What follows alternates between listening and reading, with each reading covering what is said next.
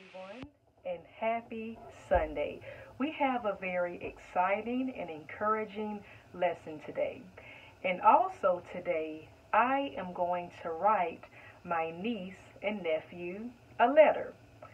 So for this letter, I am going to need my card right here. Of course, something to write with. And my envelope. Now, when we talk to people, we usually call them on the phone or we text them on the phone. We send emails or I love to send letters. Now, we pay for the phone, we pay for our computers, and we even pay for our mail. So I am going to need a stamp in order to mail this letter off, just like you need um, to pay for your phone, or probably your parents pays for your phone bill if, if you're younger, or your computer. And thankfully, we can talk to God through prayer, and it is already paid for because Jesus Christ died on the cross for our sins. So we have the right, we have the privilege, actually, to talk to God through prayer. Because years ago, we had to kill animals as a sacrifice to ask for forgiveness. But now, the veil has opened, and we can talk to God one on one through prayer. And I love it, and I'm thankful for that each and every day. So you may be wondering, how do I pray? How do I know what to say? What to ask to God? Well, I have something that I use um, to help me if I have some issues, some trouble, if I can't find the words one day. And I use the five finger prayer. And this helps me, and hopefully it helps you learn how to pray. And prayers don't have to be th- these big fancy words. They can be sincere because Jesus tells us in Jeremiah 29 and 12, Come to me and pray to me, and I will listen to you. So that is telling us that we can communicate one on one with our Lord and Savior through prayer. So put your hands up just like this, and the thumb will be our praise.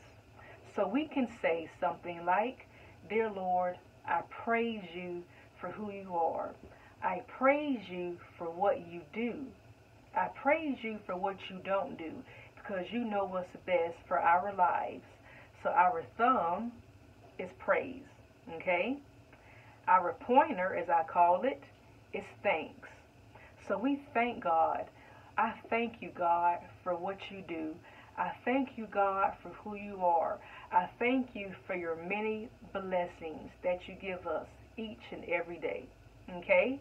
So we have praise, our thumb, and we have thanks, our pointer, our tallest finger. This means confession, or as I just say, sorry.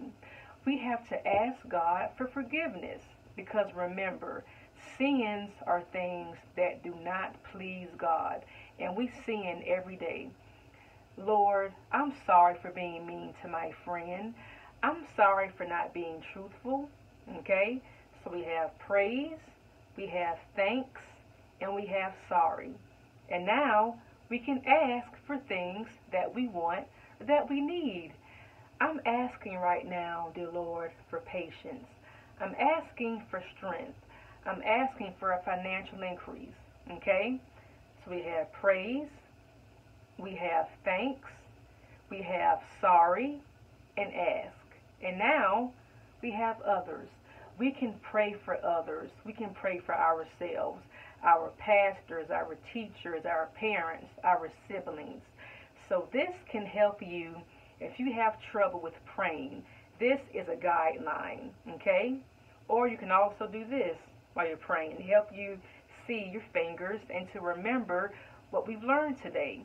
And you can also trace your hand. And I've written here praise, thanks, sorry, ask, and others to remind you how to pray if you don't know what to say.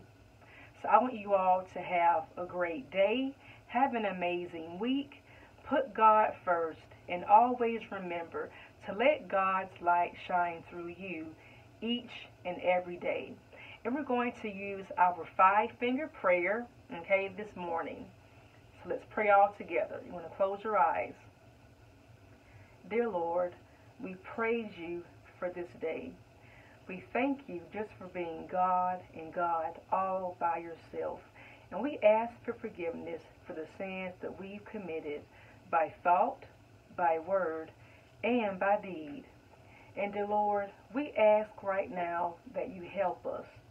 Help us, dear Lord, strengthen us. Give us what we need to live better Christian lives.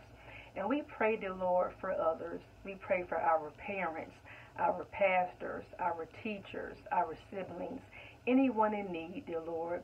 Give them strength, give them peace, keep them safe. We praise your name. In your name we pray all together. Amen. Have a nice day, everyone.